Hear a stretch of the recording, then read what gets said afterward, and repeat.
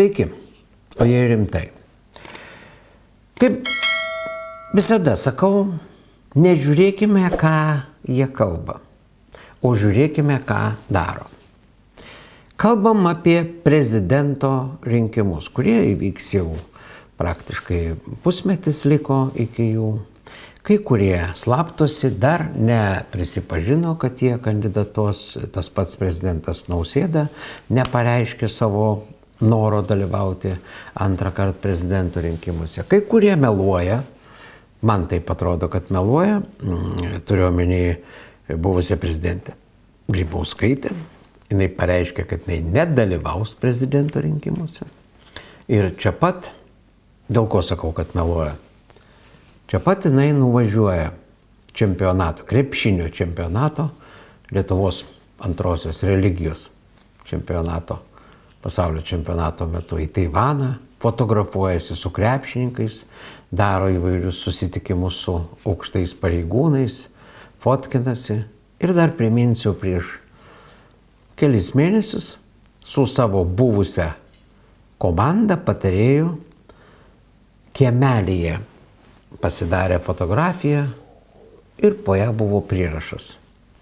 Strategija sudėliota. Kieno strategija sudėliota, jeigu tu nekandidatuosi? Ko tu važiuoji fotkinti su krepšininkais, jei tau tos politinės reklamos kaip ir nereikia. Ir nebūčiau šitos laidos kaip ir daręs, šitos apžvalgos ir savo pastebėjimų e, reiškęs, jeigu nepasirodytų spaudoje štai toks klausimėlis klausimėlis, toksai su pridėtais jau atsakymais. Jeigu kitą metą prezidento rinkimuose be nausėdos ir šimonytės dalyvautų Grybauskaitė, už kurį kandidatą balsuotų.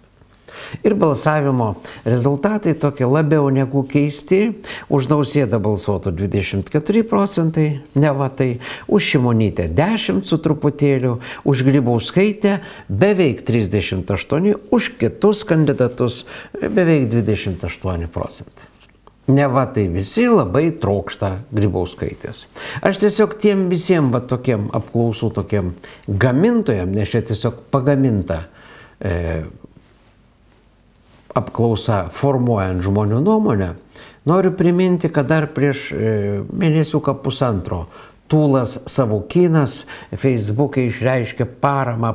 Prašykime, prašykime Grybauskaitės, kuri nenori dalyvauti rinkimuose, kad jinai dalyvautų. Ir per mėnesį vos vos surinko 9 tūkstančius balsų. Vos vos.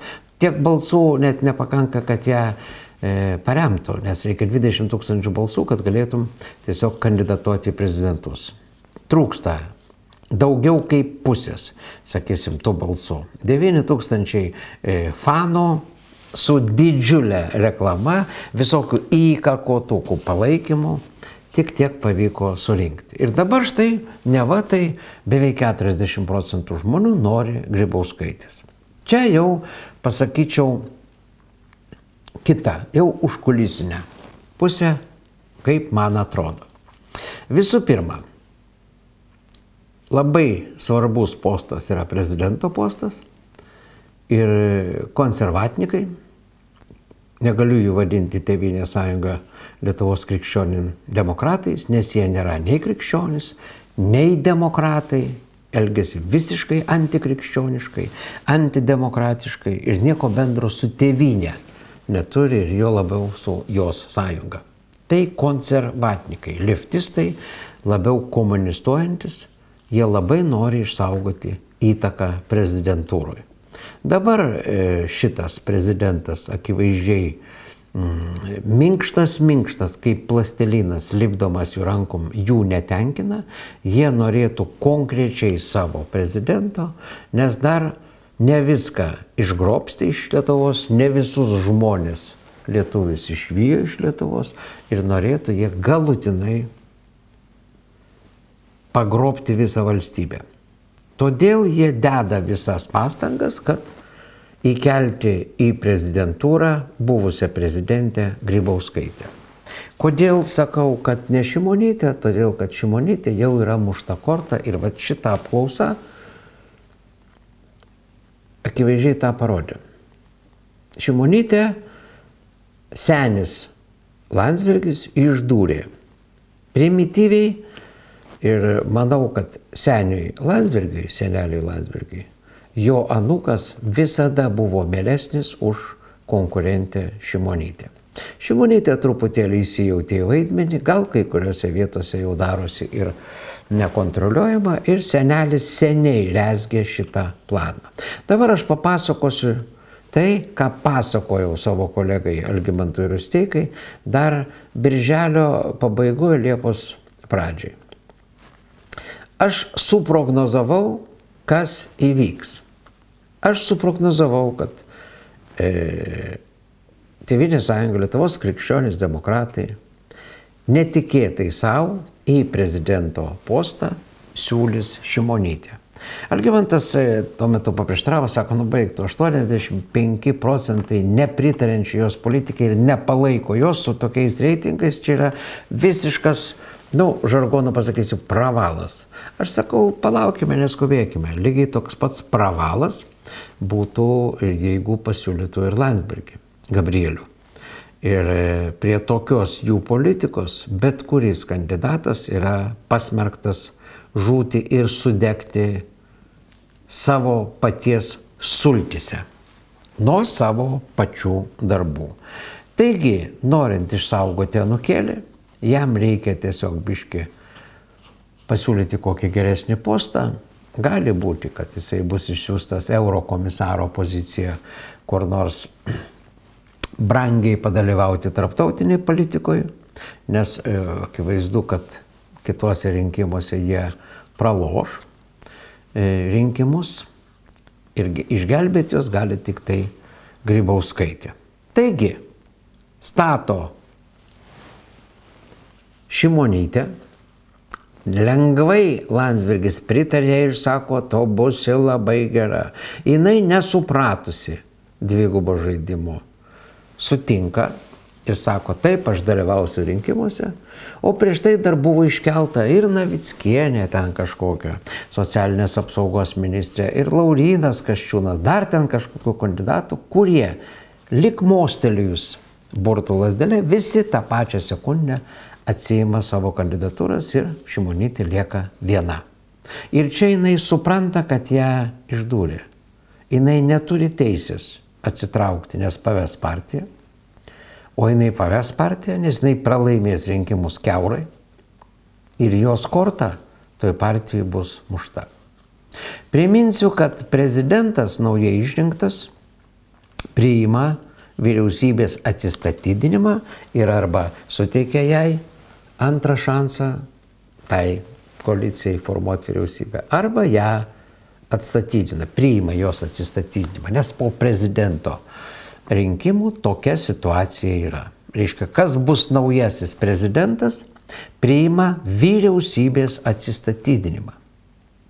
Kas po to gali įvykti, jeigu netinkamas prezidentas bus išrinktas konservatoriam? Mes puikiai suprantam, kad žmonės paplos ovacijom ir bus tris dienas šventė, kai Šimonytė bus atstatydinta iš premjerės. Prezidentas su tokia jų politika negalės leisti jiem būti toliau valdžioje. Gali įvykti netgi tam tikra vyriausybinė krizė, kai nebus kam valdyti, bet lieka e, mažiau kaip pusmetukas realiai iki Seimo rinkimų ir tie keli mėnesiai suteikus realiai vienam iš ministrų galimybę būti premjeru, laikinai pavaduoti premjerą, ten įvairiausių modelių gali būti, gali padaryti taip, kad konservatoriai neatsikels po šito knockdowno. Reiškia, jiem būtinai reikia, kad prezidentas būtų absoliučiai jų šaikos žmogus. Toksai nėra nei e, iki galo, nėra nei nausėda, nei visi kiti. kokią jų taktiką matau, strategiją tiksliau kokią. Visų pirma, opoziciniai pusiai sukelti kuo daugiau kandidatų, iškelti kuo daugiau kandidatų, kad jie kiekvienas surinktų po 5, 6, gal 8 procentus ir realiai nepatektų į antrą turą. Ir antram turė galima tada matyti Grybauskaitę ir šitą patį nausėdą. Netmetant ir Igno Vėgelės, kuris irgi dar nepareiškė. Ignas Vėgelė šiuo atveju gali būti rimtas konkurentas tam pačiam nausėdai ir tai pačiai Grybauskaitai. Grybauskaitai beje galėjo būti labai rimta konkurentė, kuri sudaužytų turbūt Grybauskaitę keurai, tai yra Širvintų merė Pinskovinė. Jis ir gražesnė, pasisako žmogiškiau, žmogiškesnė, normalesnė, irgi pakankamai karinga, pakankamai valdinga, bet Išorinė išvaizda ryškiai negrybauskaitės naudai. Ir žmonės turbūt pasirinktų Pinskuvinę. Bet čia, mano galva, sudirbo užkulisiniai metodai, įvairios spets tarnybos matyt pakrapštė kampučiuose ir surado kokią nors nemalonę meriai medžiagėlę ir tiesiog jai davė užuominą. Arba tu gal būk merė ir netrukdyk mum prezidentūroje matyti dalytę mūsų dalę. Priminsiu, kad mūsų dalė čia yra Vytauto Landsbergio pasakymas ir jinai yra jo favoritė. Kitaip sakant, ją labai norėtų matyti senelis Landsbergis, nes jinai tiesiog ranka rankon, koja kojon su juo dirbo ir jinai padėtų netgi tragiškos baigties atveju matyt po savęs pastatyti prezidento postą Gabrielių Landsbergį, kuris po buvimo eurokomisaruose sugrįžtų ant balto didelio žirgo kaip koks nors vaduotojas. Aš manau, kad Gabrieliaus prezidentavimas čia yra senelio svajonė. Tai, ko jis pats nesugebėjo padaryti, jisai norėtų, kad anukas padarytų tą jo darbą. Ir vienintelė, kuri gali padėti, tai yra dalyti. Jeigu bus kitas, bet koks kitas prezidentas, sakykime, gal Ignas Vėgelė, gal kuris kitas iš kandidatų, gal, sakysim, Tutkus, gal Vaitkus, gal ten daug, ten yra tų kandidatų, kurie mm, galbūt e, surinks tos 20 tūkstančių parašų ir stos į kovą, bet be pinigų, aš manau, kad dar bus išmesta ir visa krūva purvo ant kiekvieno iš jų. Tai bet kuris opozicinis kandidatas Gabrieliui šanso nepaliks. Vienintelį šansą gali palikti Grybauskaitė. Ir čia, va šita apklausa, kai, žinot, ne va tai žmonės labai trokšta josios, kai jinai pati pareiškia nedalyvausiu rinkimuose, tik dar kartą įrodo, kad visa tai, ką aš jums papasakojau, turi labai labai rimtą pagrindą. Ir e, kas liūdniausia yra šimonytėjai, ją yra kaput. Ir jinai jau suprato, kokį daugia pakopį žaidimą suorganizavo jai senelis. Ir kad jinai net neturi šansų atsitraukti, nes jinai, jeigu pabėgs, susirgs, jinai paves partiją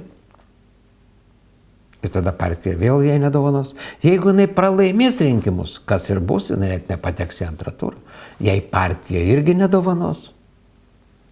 Jinai pastatyta į tokią situaciją, kai jai kaput. Čia aišku, mums gera žinia, tokios arogantiškos, ciniškos moterėlės apskritai neturėtų būti jokioj padarioj politikoje. Bet jai tai yra taip skaudu, kad jinai įdėjo tiek pastangų ir ją paukojo, tai čia šitoje vietoje dar gali kažkokių žiežirbų tarp jos ir Gabrieliuko dar gali ir įvykti.